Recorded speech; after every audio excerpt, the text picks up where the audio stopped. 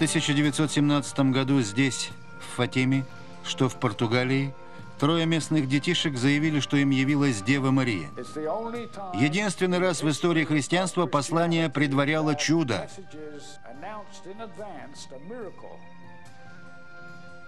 Впоследствии они предскажут разрушение Второй мировой войны, образование и падение Советского Союза и даже собственные судьбы. Но один секрет будет храниться в течение 80 лет. Наконец, в 2000 году папа откроет тайну этого пророчества. И по сей день фатимские чудеса потрясают мир. Заглянем за покров неопознанного мир самых таинственных мест на Земле.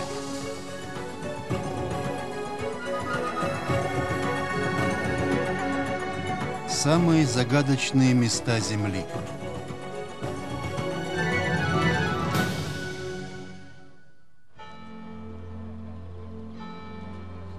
Селение Фатима в Португалии – одно из самых почитаемых католиками мест.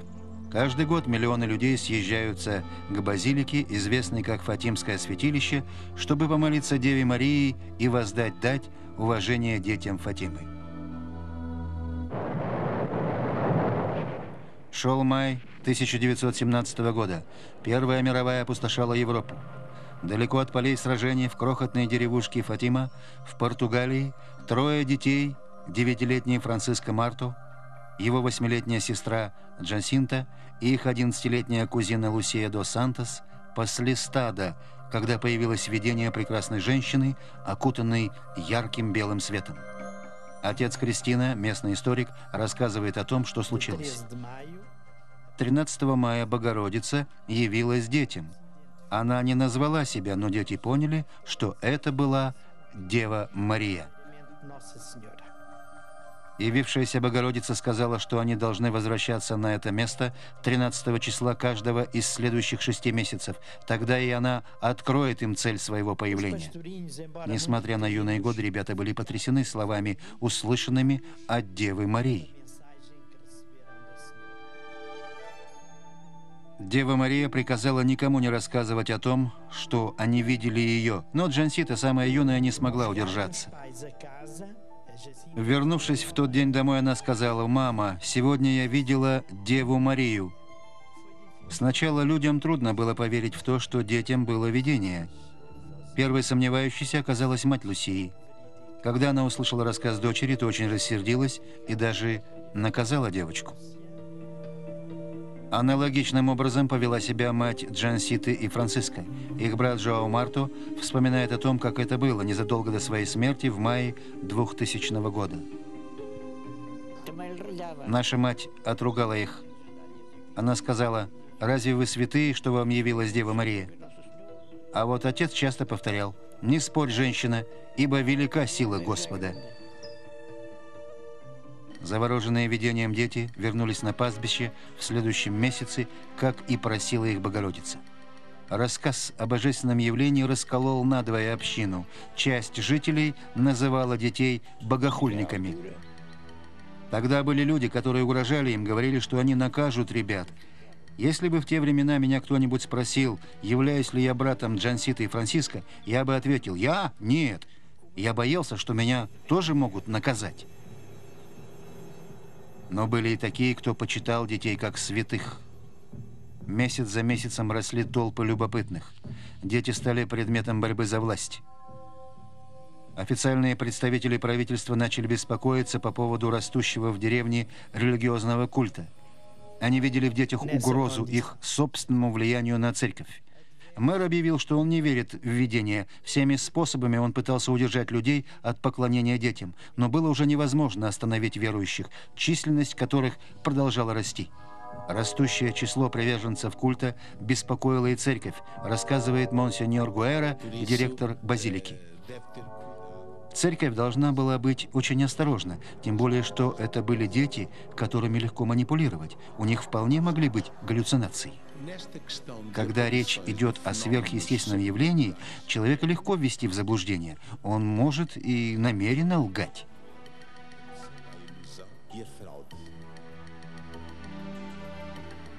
Местный священник не верил в видение.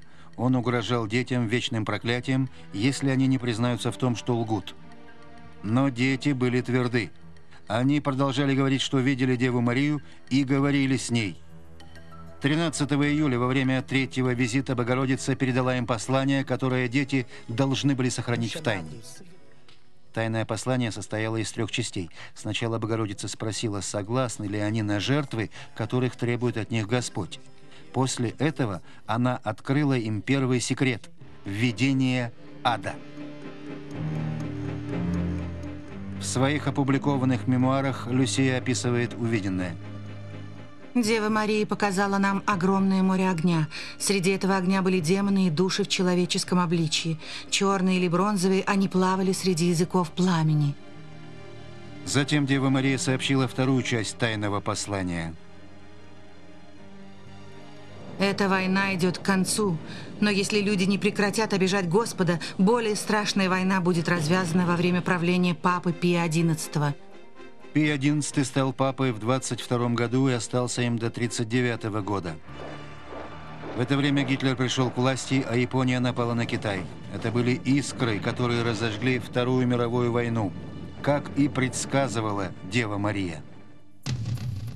Во второй части пророчества были также слова Богородицы. «Чтобы предотвратить это, я приду осветить Россию чистотой своего сердца. Если Россия согласится, люди обретут мир. В противном случае Россия всех заразит своими ошибками».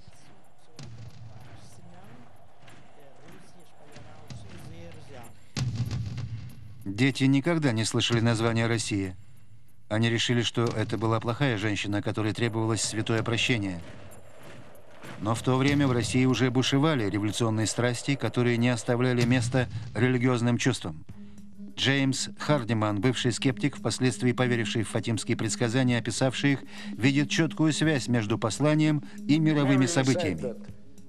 Мария сказала, что Россия распространит свое зло по всему миру и что целые страны перестанут существовать. Так и произошло. Они исчезли за железным занавесом.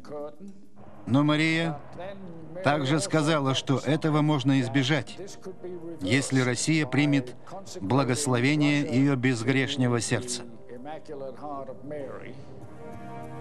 В 1984 году призыв папы к атеистической России вернуться в лоно Господне совпал с приходом к власти Михаила Горбачева. Четыре года спустя первый российский президент встретился с папой как раз в то время, когда Советский Союз стремительно разрушался. Теперь мы понимаем, что эта последовательность событий была предсказана детям в Фатиме. Фатимские предсказания единственные в истории, когда в послании говорилось о текущих событиях, конкретных названиях, политических изменениях. Таким образом, два тайных послания Девы Марии предсказали три глобальных мировых события.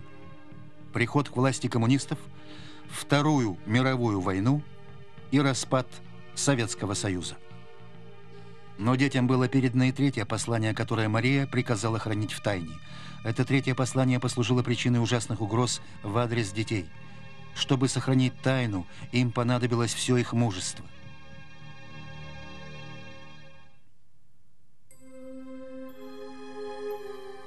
Здесь, в Фатиме, в Португалии, Дева Мария дважды явилась трем детям, доверив им тайное пророчество. Однако власти были недовольны тем, что дети держали в секрете божественное послание. 13 августа местный чиновник Артура де Оливера Сантос похитил детей, когда они шли на встречу с Девой Марией. Он надеялся разочаровать собравшуюся толпу. Кроме того, он хотел узнать третье послание.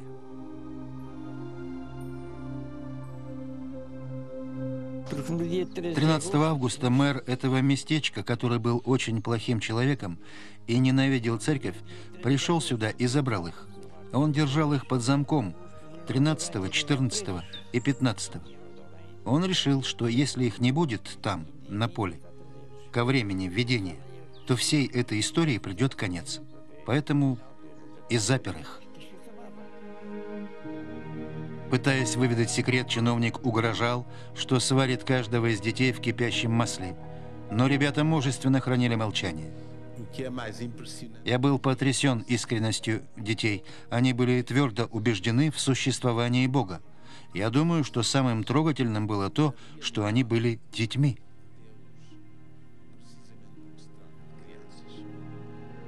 Когда детей наконец отпустили, они немедленно вернулись на пастбище. Дева Мария снова появилась. Брат Джан Ситы и Франциска Жоамарту рассказывает о том, что произошло в тот день. Они смотрели на дуб, и Люсия что-то говорила, но я не понимал ни слова из того, что она бормотала. Я сказал себе, я ничего не вижу там, значит, и они ничего не видят. Так я подумал тогда. Лусия тогда молилась, чтобы Дева Мария подала знак, явила чудо, чтобы все поверили, что они говорят правду. И Богородица услышала ее мольбу. После первого видения люди стали просить Деву Марию явить чудо, чтобы все поверили. Богородица пообещала чудо, которое должно было произойти 13 октября того года. Мать Лусии продолжала сердиться на нее, так как она все еще думала, что девочка лжет. Лусия повторяла, что все правда, и говорила, что Богородица собирается явить чудо, которое смогут увидеть все. Ее мать говорила «снова ложь». 13 октября 1917 года. Был холодный дождливый день. Огромная толпа, более чем 70 тысяч человек, собралась на пастбище в ожидании знака Господня.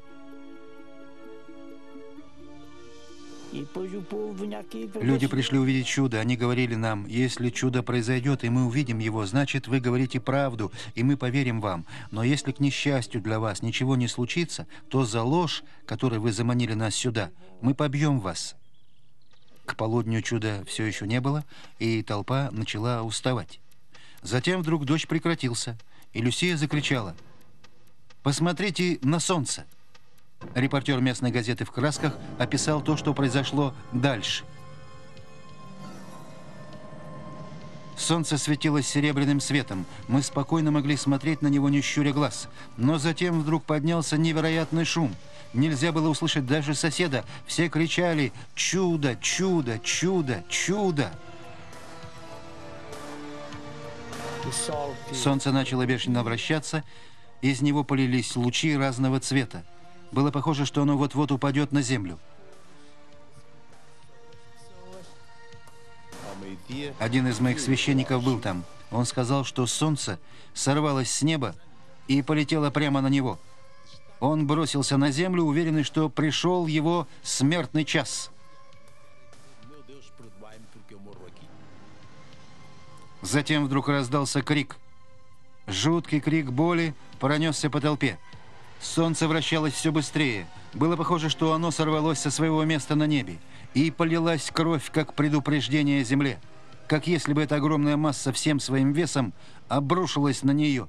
Ощущение было ужасным. Кузина Лусия Мария была маленькой девочкой, когда все это происходило. Все испугались, когда появилось солнце. Люди упали на колени, и все стали молить Деву Марию о прощении.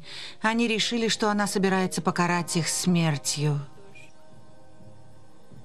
Затем солнце вернулось на свое обычное место на небесах. 70 тысяч свидетелей были потрясены видением, которое никто не мог объяснить. Единственный раз в истории христианства послание предваряло чудо. За несколько месяцев о нем было сообщено, чтобы люди смогли прийти и увидеть его – это очень важно.